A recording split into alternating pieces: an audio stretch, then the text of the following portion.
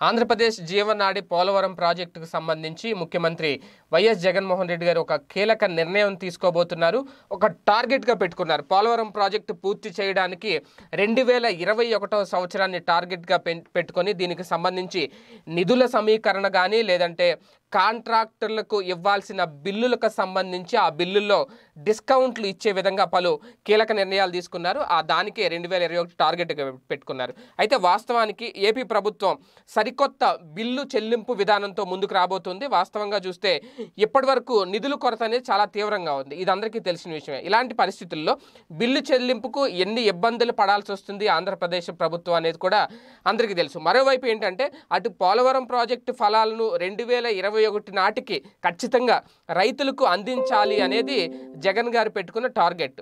అంటే ఆ పోలవరం నుంచి వచ్చే నీటిని విడుదల చేయడం ఫలాలు అంటే నీటిని విడుదల చేయడం రైతులకి అవి ఉపయోగపడేలా చూడడం. ఇప్పటికే పోలవరం పోలవరం బహుళార్థ సాధక ప్రాజెక్టు అతిపెద్ద ప్రాజెక్టు అనే మాటల్లోనే తప్ప దాని ప్రతిఫలాన్ని ఏ రైతు కూడా అందుకున్నది లేదు. ఎందుకంటే జగన్మోహన్ వైఎస్ జగన్మోహన్ రెడ్డి గారు అంతకుముందు రాజశేఖర రెడ్డి గారి హయాంలోనే పోలవరం ప్రాజెక్టు ప్రారంభించారు. కాకపోతే తర్వాత ఆ క్రెడిట్ని చంద్రబాబు గారి ప్రభుత్వం అప్పటి ప్రభుత్వం తమ ఖాతాలో వేసుకోవడానికి ప్రయత్నించి విఫలమయ్యింది. ఇప్పుడు మాత్రం ఖచ్చితంగా మేము సక్సెస్ అవ్వాలి. అది కూడా అతి తక్కువ టైంలోనే సక్సెస్ అవ్వాలనే ఉద్దేశంతో ఆల్రెడీ రీటెండర్ల విషయం కూడా పూర్తయిపోయింది. ఇప్పుడు బిల్లు విధానం. ఈ బిల్లు విధానం ఏంటి అంటే హెడ్ వర్క్స్ అలాగే ఎడమ కాలవ కుడి కాలవ ఈ కనెక్టివిటీల పనులతో పాటు ఈ మూడింటి కనెక్టివిటీల పనులతో పాటు నిర్వాసితుల పునరావాస కాలనీలు పనులు చేస్తున్న కాంట్రాక్టర్లు ఎప్పటికప్పుడు బిల్లులు చెల్లించనున్నారు. వాళ్ళందరూ ఎప్పుడు కూడా బిల్లులు చెల్లిస్తూ ఉంటారు. ఇప్పటికే అమరావతిపై అనేక విమర్శలు వస్తున్నాయి.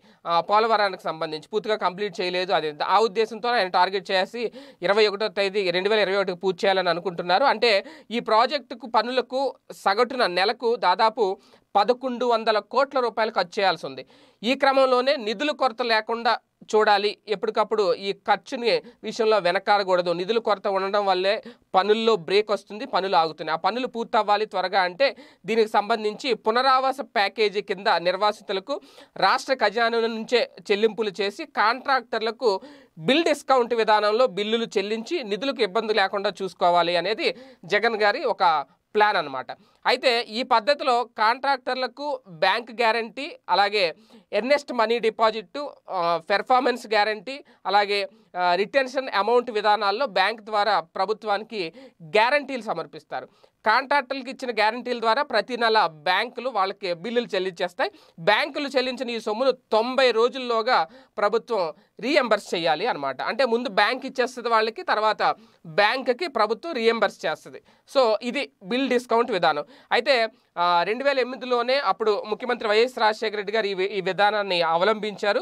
ప్రస్తుతం సవరించిన అంచనాలను బట్టి చూస్తే పోలవరం ప్రాజెక్ట్ నిర్మాణానికి దాదాపు మొత్తం ఐదు లక్షల యాభై ఐదు వేల నలభై ఎనిమిది పాయింట్ మూడు ఏడు కోట్ల రూపాయలు ఖర్చు చేయాలి.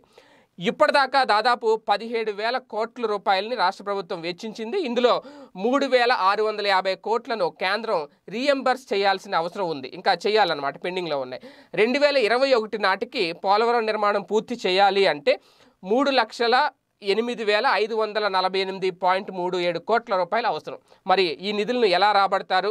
రెండు వేల ఇరవై ఒకటికి పోలవరం మీద టార్గెట్ పెట్టుకున్నారు. జగన్ జగన్ గారు ఖచ్చితంగా ఆ ఫలాలను రైతులకు అందించాలని దాని మీద ఏం చేయబోతున్నారు? ఖచ్చితంగా ఒక మంచి టార్గెట్ ఏదైనా పెట్టుకున్నారు. ఈ విషయంలో ఎలా కేంద్రం నుంచి కూడా ఎలాంటి సహాయం అందుతుంది? ఎలాంటి నిధులు రాబడతారు? ఈ బిల్డ్ డిస్కౌంట్ విధానం అయితే చాలా అద్భుతంగా ఉంది. అది అమలుకు ఎంత అద్భుతంగా ఉంటుంది? దాని మీద ఏం జరుగుతుంది అనేది మాత్రం వేచి చూడాలి. స్టేట్యూ ఈ వీడియో కనుక మీకు నచ్చినట్లయితే లైక్ చేయండి షేర్ చేయండి. మరిన్ని వీడియోస్ కోసం మా ఛానల్ Changing.